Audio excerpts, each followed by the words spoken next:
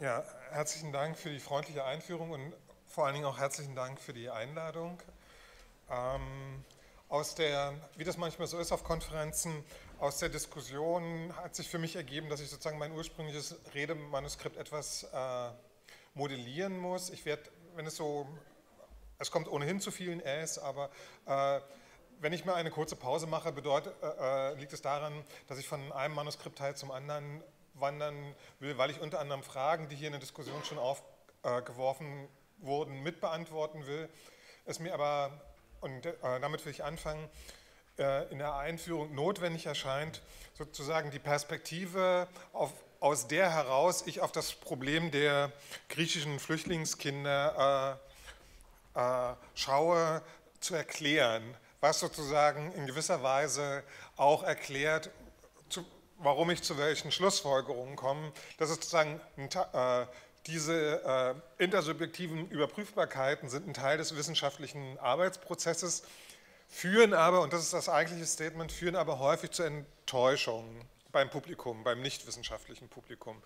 Äh, eine äh, solche Situation haben wir heute schon erlebt mit der Frage, natürlich habe ich eine, Fra äh, eine Meinung darüber, wie sich das deutsch-griechische Verhältnis äh, entwickeln würde, wie es sich entwickeln sollte, wie bestimmte Fragen äh, beantwortet werden sollten. Die sind aber nicht Gegenstand meiner wissenschaftlichen Arbeit, sondern meiner staatsbürgerlichen Position. Und deswegen werde ich mich hüten, diese Frage vom Podium aus zu beantworten. Äh, falls Sie es aber doch wissen sollten, ich bin ja noch über einen Tag hier. Äh, das, das, andere hat mit dem, und das ist jetzt tatsächlich auch ein wissenschaftsmethodischer äh, Unterschied, hat was mit dem Zusammenhang von Zeitgeschichte und Zeitzeugenschaft zu tun.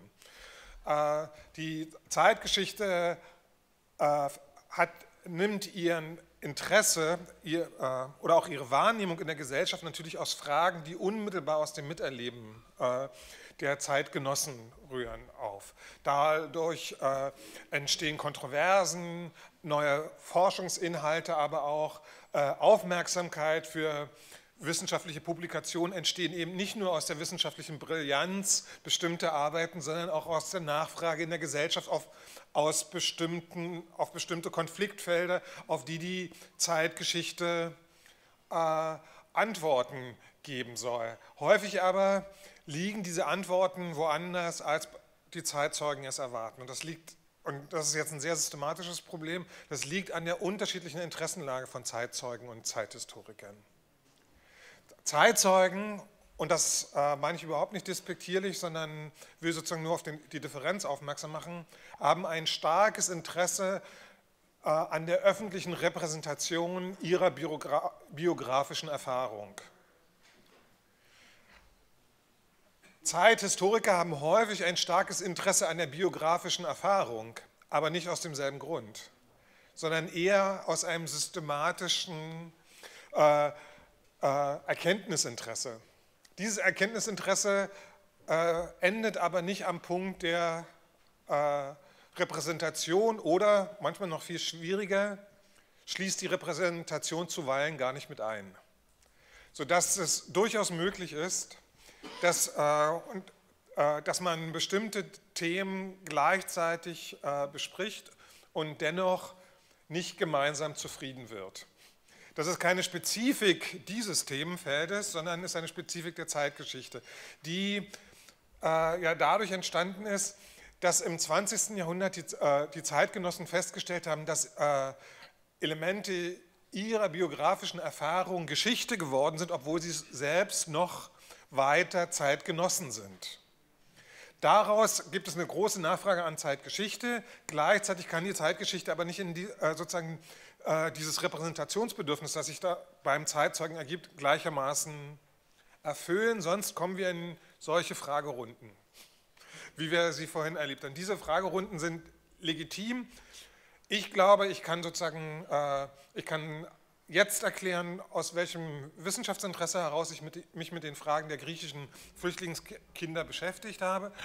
Und anschließend könnten wir dann in der Diskussion, wenn mein anderer Kollege auch noch gesprochen hat, dann im Prinzip so Wissensfragen, dafür bin ich immer gerne da, wobei man aber auch damit rechnen muss, dass man sagen, dass man hören muss, dazu kann ich nichts sagen, äh, weil sozusagen mein Interesse schon sehr fokussiert ist, können wir die aber austauschen. Was ich aber ganz sicher nicht kann, ist sozusagen ein abschließendes Urteil über dieses Phänomen abgeben.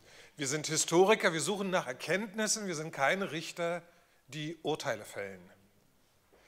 Auf diesem Unterschied muss ich schlicht bestehen. Äh, das ist in der Gesellschaft nicht immer so verbreitet, die Erwartung ist sehr hoch und deswegen habe ich das, glaube ich, war es nochmal gut, das anzusprechen. Mein wissenschaftliches Interesse an den griechischen Kindern kommt ursprünglich aus einem, äh, aus einem gesellschaftspolitischen, aus der Debatte um Fremdenfeindlichkeit in Ostdeutschland auf der einen Seite und auf der anderen Seite aus einem Forschungsinteresse, das sich mit Asyl im Nachkriegsdeutschland beschäftigt. Nicht nur in der Bundesrepublik, äh, aber auch nicht nur in der DDR, aber im, in der DDR sind die griechischen Flüchtlingskinder ein sehr spezieller Fall, der, auf, der einerseits deswegen so speziell ist, weil er beginnt, bevor es die DDR gibt als Staat. Die Aufnahme von griechischen Flüchtlingskindern, die eher weniger was von Freiwilligkeit als mehr was von Verordnung hatte äh, und die in gewisser Weise, und hier ist sozusagen äh, das Interesse des Historikers auch gefragt, die eher was mit sozusagen den hierarchischen Verhältnissen im Ostblock zu tun haben, als sozusagen der Aufnahmebereitschaft der DDR-Führung damals oder äh, der Regierung der sowjetischen Besatzungszone in den Ländern. Ähm, es, am Ende, das ist heute schon wunderbar angesprochen worden, am Ende gab es sozusagen ein Flüchtlingsproblem, das dessen Geschichte ich hier nicht erzählen kann. Und in einer sogenannten konzertierten Aktion haben, hat sich die Sowjetunion und ihre europäischen Verbündeten äh, dazu entschlossen, mehrere Zehntausend Flüchtlinge des Bürgerkriegs aufzunehmen. Und unter anderem war es die Aufgabe der DDR, insbesondere oder der ostdeutschen Kommunisten in den Länderregierungen, in der SPZ und dann in der DDR, die Zahlen Zahlen sind in der DDR ein schwieriges Thema. Es, handelt, äh, äh, es handelte sich wahrscheinlich zwischen 1000 und um, um 1000 bis 1300 äh, Flüchtlingskinder. Die Zahlen sind deswegen so problematisch, weil wir nicht immer, äh, weil erstens nicht systematisch gezählt wurde, durchgängig, sondern immer nach Ereignissen. Also immer wenn sozusagen politische Erfordernisse waren, wurde sozusagen nochmal durchgezählt, wie, um wie viele Leute handelt es sich. Und in den Zwischenräumen zwischen, zwischen dem Zählen hat es Bewegungen in dieser Gruppe gegeben. Es hat Abwanderungen gegeben, es hat verspätete Ankunft gegeben, es hat Bewegungen, und das ist schon angesprochen worden, die DDR war nicht das einzige Land, sondern es hat auch Bewegungen zwischen den äh, Flüchtlingszentren in den verschiedenen sozialistischen Staaten gegeben, sodass wir äh, wenn wir von diesen ungefähr Zahlen reden, zwischen 1000 und 1300, müsste man sozusagen immer den Tag sagen, wer hat gezählt, wer ist in die Zählung eingenommen und das würde ich Ihnen einfach ersparen, weil dann ist die Zeit vorbei. Äh, es gibt aber am Ende eine Zahl, äh, dass 1989 in der DDR circa 450 dieser ehemaligen Flüchtlingskinder, die mehrheitlich äh, nicht nur Erwachsene, sondern im überwiegenden einer überwiegenden Zahl inzwischen sogar nahe dem Rentenalter sich befanden, äh, noch in der DDR lebten. Und in dieser Spanne ist es äh, für, für uns interessant gewesen zu fragen, erstens, warum werden diese Menschen in der DDR aufgenommen, wo in der DDR doch eher Ausreisen als Einreisen sozusagen das typische Migrationsverhalten war. Äh, zweitens, mit welchen sozusagen auf welche Bedingungen trafen diese Menschen ganz allgemein? Und drittens, wie ist sozusagen zu erklären, dass die Zahl äh, äh, auf so dramatische Weise eigentlich äh, äh abnimmt? Äh, dabei ist sozusagen, äh, dass es zu Wanderungsbewegungen kommt, nicht so sehr das Problem, sondern wenn man sich sozusagen den zweiten Grund anschaut, muss man beantworten, wie kommt es dann drittens zu dieser geringen Zahl am Ende. Wenn wir, äh, äh, die, wie ich schon sagte, wenn wir uns das in einem Verlauf ansehen, so ist, äh, relativ, äh, kommt es zu dieser, äh, zu dieser Aufnahmeaktion. Äh, der Kollege Tröbst vom, vom Leipziger Zentrum für für die Geschichte Mittel- und Osteuropas, hat darüber mehrere Aufsätze sehr schön recherchiert, geht davon aus, dass die ostdeutschen Behörden in aller Regel mit der Anforderung am Anfang überfordert waren.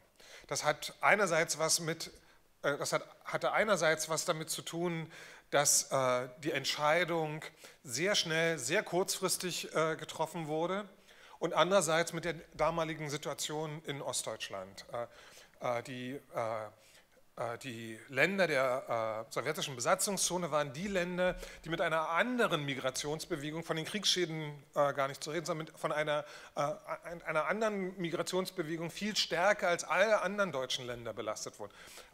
25 Prozent aller vertriebenen Deutschen mussten in Ostdeutschland aufgenommen werden. Dies hat in der Zeit die Behörden in einem hohen Maße äh, belastet und bei denen häufig, äh, gar nicht so untypisch, den Eindruck äh, entstehen lassen, dass sie selber gar nicht in der Lage sind, irgendetwas zusätzlich noch tun zu können. Das hat zeitweise, und das ist auch das Interessante, das hat übrigens zeitweise dazu geführt, dass das nicht Bundesland, aber das damalige Land Sachsen seine Grenzen für Vertriebene geschlossen hat und das den anderen Ländern überlassen hat. Ich, das sage ich nur sozusagen, um den Hintergrund äh, äh, äh nochmal klar zu machen. Allerdings ein, ein Beschluss des, äh, des, äh, des Politbüros wird sozusagen von der Wirklichkeit nicht in Frage gestellt, sondern muss umgesetzt werden. Äh, das ist Teil sozusagen der Form äh, politischer Praxis in der DDR. So wurden äh, in, am Anfang relativ äh, improvisiert, in, insbesondere in den dann später in Bezirken aufgeteilten Territorien des Landes Sachsen, also in der Umgebung vor allen Dingen von, von Dresden, auch in Chemnitz, Leipzig, wurden sozusagen erste improvisierte Aufnahme äh, äh, geschaffen, die später in einem Heimkombinat Freies Griechenland äh, zusammengeführt wurden administrativ. Der Hauptaufnahmepunkt war aber in einem Gelände mit mehreren Gebäuden in Radebeul, einem, einem Ort damals bei Dresden, heute eher von Dresden umschlossen. Dort kam es sozusagen zu einer Aufnahme für die Dabei waren vor allen Dingen die Institutionen, die sogenannten gesellschaftlichen Organisationen des äh, entstehenden SED-Staates, die Volkssolidarität und äh, äh, der Freie Deutsche Gewerkschaftsbund, aber auch die FDJ, ganz maßgeblich damit beschäftigt, sozusagen äh, sowohl das äh, soziale als auch das bildungspolitische als auch das äh, politisch-ideologische Umfeld äh, zu sichern. Die, äh, die, die, Kinder selber waren in sehr unterschiedlichem Alter, manche waren schon im Teenageralter, manche waren noch sehr jung, äh, waren in, ihrer, in der Mehrzahl von ihren Eltern getrennt worden. Die Umstände gehören zu der Konfliktlinie, die heute schon mal äh, kurz angesprochen wurde, die auch, äh, die auch später äh, hin von einigen nochmal aufgegriffen wurden.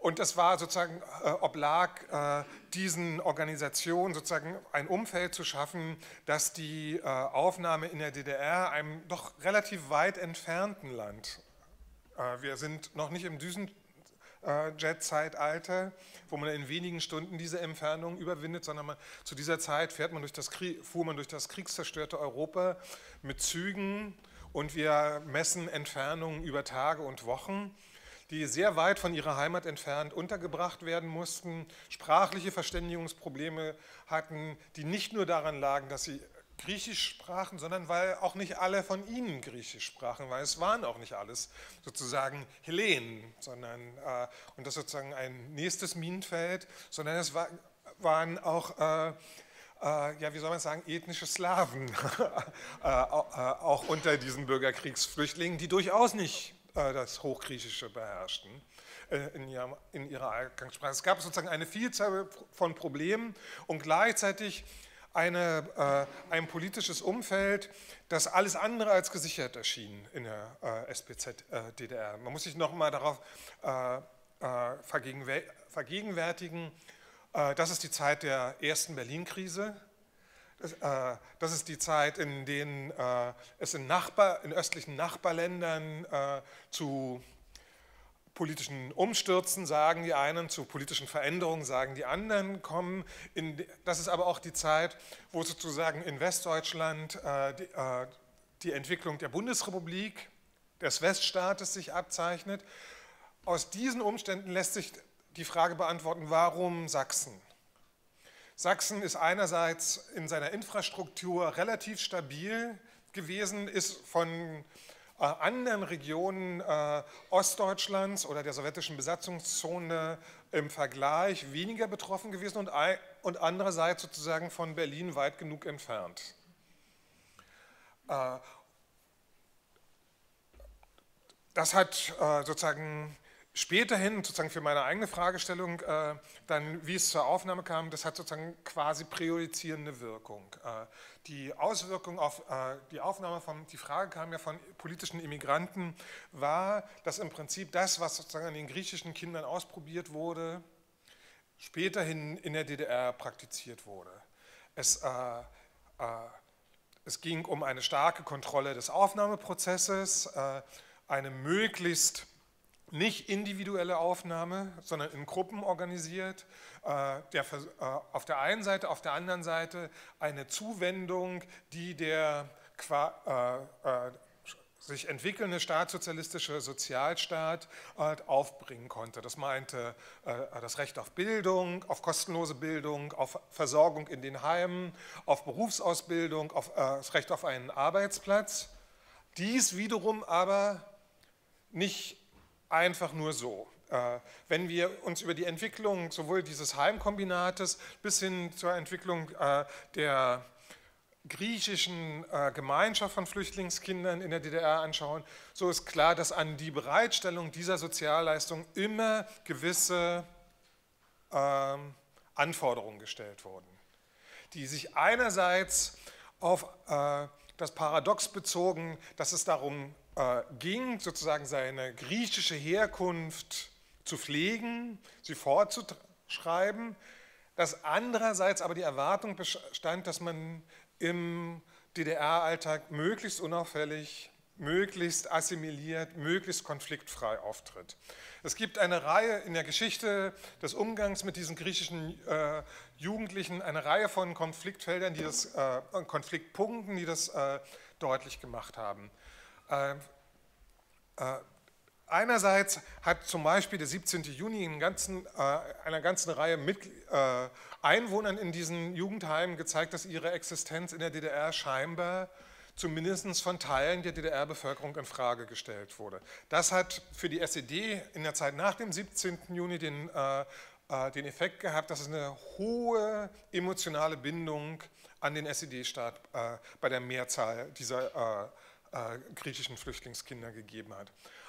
Auf der anderen Seite ist es nicht so gewesen, dass sozusagen alle dieser griechischen Flüchtlingskinder, wie soll ich sagen, linientreue Parteigenossen gewesen wären. Es, es, gab ein Ideal, das in der Abteilung internationale Beziehungen, die für die Betreuung im ZK der SED, die für die Betreuung äh, nicht nur dieser äh, Gruppe, sondern aller sogenannten Politimmigranten in der DDR zuständig waren. Und die Griechen waren bei weitem nicht die einzigen. Es gab später Spanier, es gab die in aller Munde befindlichen äh, äh, Chilenen, es gab aber auch Iraner, Türken, äh, sozusagen, äh, aber sozusagen die, das griechische Beispiel ist sozusagen der Modellfall für die Art und Weise, wie man später mit Politimmigranten in der DDR umgeht. Es wurde aber auch erwartet, dass die Wechselfälle der Parteipolitik der SED relativ bedingungslos hingenommen werden.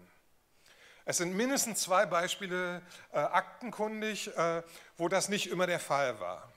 Das eine, der eine Fall ist die Entstalinisierung nach 1956 gewesen, äh, wo es eine Reihe von griechischen Genossen, die durchaus auch Mitglieder der SED waren, es waren nie alle Flüchtlingskinder Mitglieder, aber ein signifikant großer Teil sind, in, sind äh, sozusagen den für die SED klassischen Weg äh, Pionier, FDJ, SED, FDGB, whatsoever äh, äh, gegangen, hatten aber 1956 durchaus ein Problem mit der Entstalinisierungskampagne in der DDR.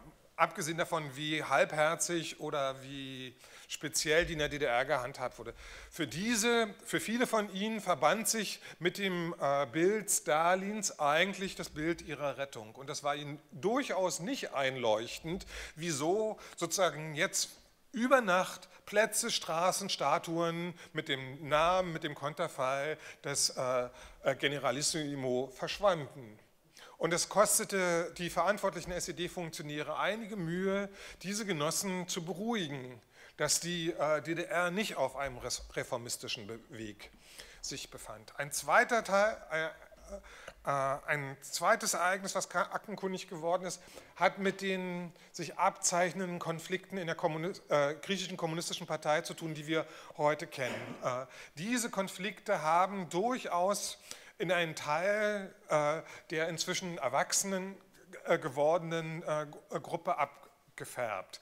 Dabei ist die Eindeutigkeit, wie die Auseinandersetzung in Griechenland und auch in Moskau geführt wurden, in der DDR nicht ganz so gewesen. Die Entscheidungen, wer sozusagen welcher Gruppierung zugeordnet wurden, waren nicht immer politischer Natur. Und das ist sozusagen eine gewisse Spezialität, sondern waren häufig familiengebunden. Wer zum Beispiel äh, ebenfalls geflüchtete Verwandte in Rumänien hatte, stand bei der SED ganz grundsätzlich in dem Verdacht, zu dem, äh, sozusagen, äh, zu dem Auslandsflügel der Partei zu gehören. Äh, diese Praxis deutet auf eine Merkwürdigkeit hin, äh, hin, die sich immer wieder findet. Es ist zwar so gewesen, dass die Aufnahme unter dem ideologischen äh, äh Dogma des Internationalismus stattfand. Dass es aber in der Praxis, im Umgang äh, mit diesen äh, äh, politischen, letztendlich doch politischen Flüchtlingen immer wieder nationalistisch und durchaus auch chauvinistisch gefärbte äh, Attitüden gab. Man sollte sozusagen eigentlich immer währender Grieche sein, aber andererseits eigentlich auch ein vorbildlicher DDR-Bürger. Mit diesem Paradox sind ebenfalls immer wieder eine Reihe von diesen Flüchtlingen äh, ehemaligen Flüchtlingskindern oder wie sie später genannt, genannt wurden, heimatlosen Griechen, äh, äh, nicht zurechtgekommen. Es gibt immer wieder Fälle, dass äh, junge Teenager doch eher fasziniert waren vom Rock'n'Roll in West-Berlin und durchaus für die Abteilung internationale Verbindungen ein Vorkommnis darstellten, dass überhaupt Kontakte in, in andere Länder über die Grenzen des Eisernen Vorhanges den Verdacht der Abtrünnigkeit erzeugten. So sodass und, äh, sich etwas äh, dabei herauskristallisierte, was wir auch bei allen Gruppen äh, äh von äh, Politimmigranten in, äh, in, der DDR finden. Es gibt eine merkwürdige doppelte Identität dieser Menschen. Eine Identität, die sie einerseits politisch stark an die DDR band durch ihr Migrationsschicksal, die aber die Besonderheit dieses Schicksals nicht repräsentiert sah in ihrem Leben in der DDR. Es hat einen Hauptausdruck dessen war, dass es durchaus im Rahmen äh, der von der SED vorgegebenen sowohl Bildungsplänen als auch politischen Plänen ein, vielfältiges äh, Veranstaltungsleben, auch ein kulturelles Leben gab. Was es aber nicht gab, gab war eine Vertretung dieser Migranten.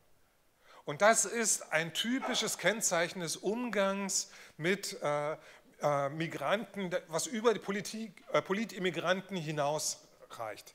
Es war zwar möglich, und das trifft auch andere Bereiche zu, deswegen führe ich es nochmal äh, hier aus, es war zwar möglich als, äh, äh, als politischer Flüchtling, als Politimmigrant, als Student, als Vertragsarbeiter, was auch immer, in die DDR zu kommen, auf unterschiedlichen Wegen. Aber eins war ausgeschlossen, dass man sozusagen mit einer selbstgebildeten Organisation äh, quasi auf Augenhöhe gegenüber dem SED-Staat äh, in Verhandlungen trat und dort seine Interessen verwaltete. Was immer möglich war, dass sozusagen der einzelne Genosse, der, der, der einzelne Ausländer dem SED-Staat gegenüber trat und in Verhandlungen trat. Äh, was aber nicht möglich war, war sozusagen eine, eine Aushandlung auf, sozusagen ein Aushandeln auf gleicher Ebene. Alle Versuche der Selbstorganisation sind immer wieder unter dem Verdacht abweichlerischer und konterrevolutionärer äh, Organisationsbildung unterbunden worden. Es ist massiv Druck ausgeübt worden, dass es zwar gefördert wurde, dass es eine Gemeinschaft der, äh, der Kinder gab, aber keine Organisation dieser Kinder. Erscheint paradox, äh, macht uns aber verständlich, warum die Entwicklungswege dieser Menschen so unterschiedlich waren. In, wir müssen uns also nicht vorstellen, dass es sozusagen ein Migrationsschicksal gab, das sozusagen 1948, 1949 begann und entweder mit der Remigration oder mit dem Verbleib in der DDR endete, sondern dass sich ein Fächer von äh, unterschiedlichen Erfahrungen genau in dem Feld ab 48, 49 mit dem SED-Staat, äh, mit der äh, Umgebung in Ostdeutschland äh, auftat, was dazu führte, dass es natürlich Menschen gegeben hat, die zur Zeit der offenen Grenze die DDR verlassen haben. Es hat Menschen gegeben, die haben einfach auch äh, Teile ihrer Familie gesucht, die in, äh, in anderen sozialistischen Ländern gelebt hat äh, äh und äh, drangen auf Familienzusammenführung. Es hat Leute gegeben, bis hin, und das ist sozusagen der zweite Teil, es hat Leute gegeben, die nach, äh, nach der Militärdiktatur wieder illegal in die DDR eingereist wurden, wo aber insbesondere von den DDR-Behörden massiv darauf geachtet wurde, weil es sozusagen Teil ihrer illegalen Legende war, dass sie eben keinen Kontakt suchen zu den Gruppen der schon in Griechenland, äh, äh, schon aus Griechenland in 48, 49 gekommenen äh, äh, Flüchtlingskinder. Sodass wir, wenn wir sagen, äh, was bedeutet das sozusagen eigentlich für, äh, für die DDR. Für die DDR bedeutet das etwas Ähnliches, was der Soziologe Pollack schon mal beschrieben hat äh, über die Spannungslinien, die die DDR-Gesellschaft zusammen. Einerseits gab es sozusagen einen internationalistischen Impetus, den viele Menschen auch ernst genommen haben, der für viele Leute ein hohen, hohes, hohes Maß an Identität auch bedeutete in der DDR. In der anderen Seite auf der anderen Seite gab es ein institutionelles Misstrauen jeglicher Abweichung, auch äh, äh, ja, familiäre Abweichung, dass hinter, oder besser gesagt, hinter dem immer auch die Möglichkeit bestand, dass ganz alte Vorurteile dem Fremden, dem Fremdländischen, dem fremden Volk wieder mobilisiert werden konnten, durchaus aus den Institutionen heraus. Äh, da, das ist auch der Grund, äh, Tröps hat in, in, seiner Arbeit sich gefragt, dass, äh, warum ist es eigentlich so, dass die Griechen äh, anders zum Beispiel als die Chilenen in der Propaganda, in der internationalistischen Propaganda des SED-Staates äh, nicht auftauchen oder so gut wie nicht auftauchen, wenn wir sozusagen, wenn wir, wenn wir systematische, wenn wir systematisch äh, äh, die Quellen durchgehen, dann sehen wir immer wieder einzelne Artikel zu bestimmten, äh, äh, zu bestimmten Beispielen, aber sozusagen ein Thema, das sozusagen die DDR selbst repräsentiert, wie das zum Beispiel bei den chilenischen Immigranten war. Waren die Griechen, waren die Spanier, waren die Iraner und schon die Türken äh, in der DDR als Politimmigranten alle überhaupt nicht.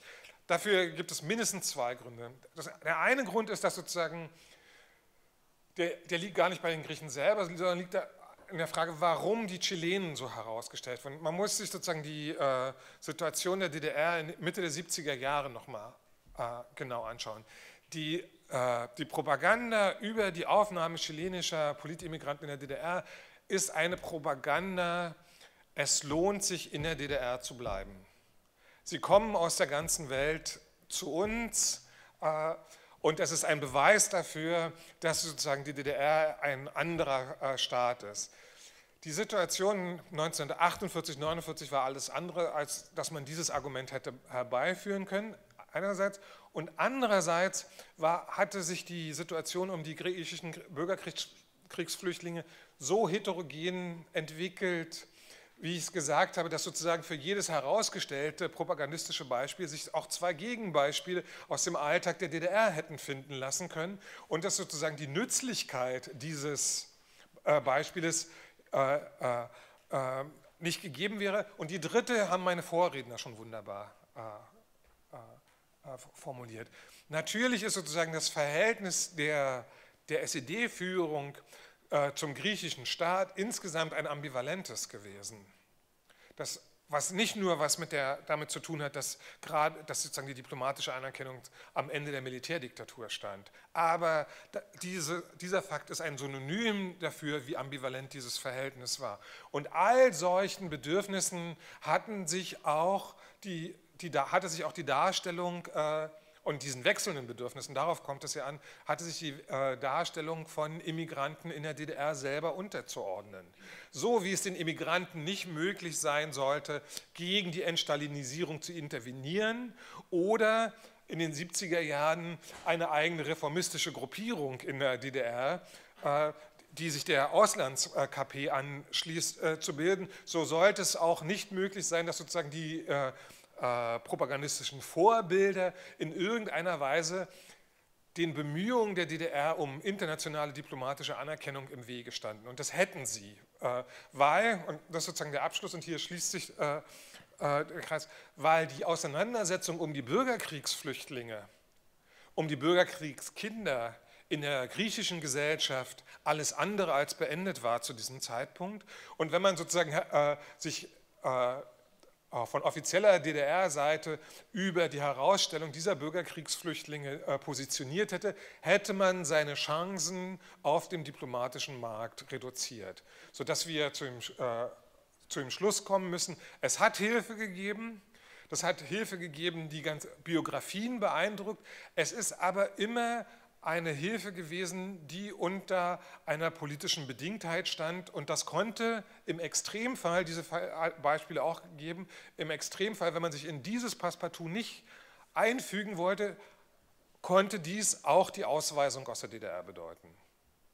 Und wenn wir sozusagen über, wenn wir nachher darüber diskutieren, äh, äh, äh, was sozusagen alles möglich ist, würde ich Sie nur noch mal auffordern, sozusagen diesen breiten Fächer mit einzubeziehen und eher zu überlegen, wo passt meine Biografie hinein, als zu fragen, warum haben Sie eigentlich den Aspekt meiner Biografie nicht mit aufgenommen. Herzlichen Dank.